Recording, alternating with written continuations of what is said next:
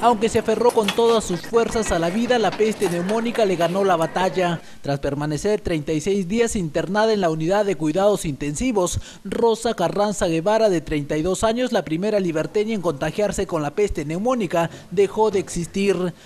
La paciente desde que ingresó estuvo en pésimo estado general.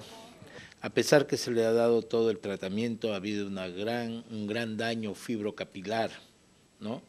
De, a nivel pulmonar. El diagnóstico final es peste neumónica, insuficiencia respiratoria y eh, disfunción multiorgánica. Rosa Carranza Guevara deja en la orfandad dos hijos menores de edad. Ella es la segunda víctima mortal de la peste desatada en nuestra región, pues como se recordará, un adolescente de 14 años también murió víctima de la peste septicémica causada por la bacteria Yersinia el residente medicina fue dado de alta hace más o menos semana y media. El paciente está en muy buen estado. En relación al estudiante de medicina, tiene una evolución favorable, ya está despierto el joven, ¿no?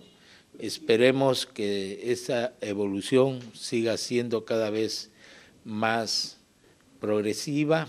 Los restos mortales de Rosa Guevara serán trasladados al caserío de Mariposa Leiva en para recibir cristiana sepultura. Víctor Peralta señaló que su muerte no debe ser motivo de alarma.